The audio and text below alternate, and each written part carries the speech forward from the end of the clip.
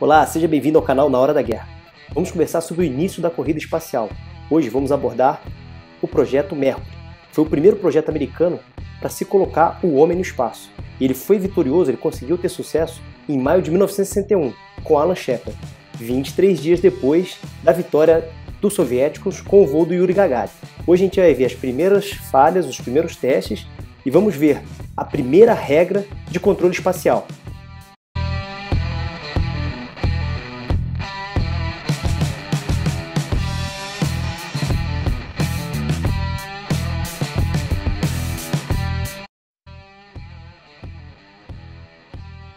projeto Mercury iniciou-se em 1958 e foi finalizado com o sexto e último voo tripulado em maio de 1963, levando o astronauta Gordon Cooper. O projeto tinha três grandes objetivos: orbitar uma cápsula tripulada ao redor da Terra, estudar a capacidade humana no espaço e recuperar o homem e a cápsula espacial com segurança após o voo.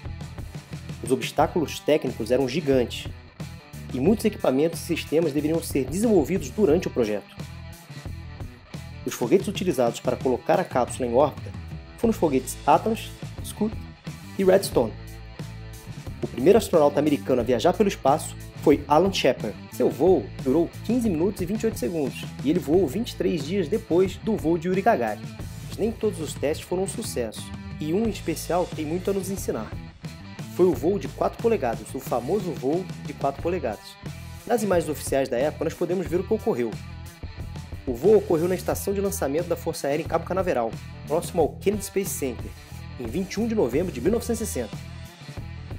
O sistema Mercury e Redstone 1 estava preparado para a ignição no horário previsto.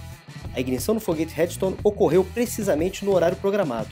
A explosão agitou todo o ar ao redor do complexo de lançamento, mas de repente tudo parou. Observando da casa-mata, os engenheiros viram o propulsor oscilar em seu pedestal e voltar a pousar no que foi um voo de 4 polegadas. O motor Redstone interrompeu sem nenhum motivo a sua ação. A torre de escape foi ejetada e pousou cerca de 400 metros da base. Três segundos depois, o foguete de fogo explodiu e expulsou o paraquedas principal. A falha foi muito angustiante para toda a equipe de projeto do Mercury, pois tecnicamente não havia nenhuma explicação para o lançamento abortado. Porém, agora, o problema era muito mais grave, pois o foguete estava pressurizado e abastecido sem qualquer segurança. E nenhum manual previa o que se fazer nessa situação. Os diretores de voo eram Chris Kraft e seu auxiliar Jim Kranz. Em seu livro Failure is Not an Option, Jim narra este momento.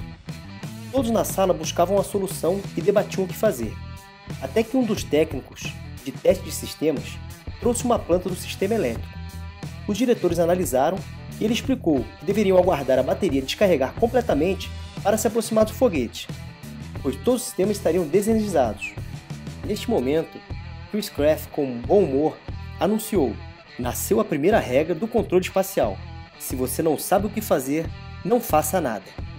Tudo correu como planejado e nenhuma vida foi arriscada. Essa dupla inventou o conceito do que nós conhecemos hoje por controle e lançamento de satélites, que possibilitou aos americanos chegarem à Lua.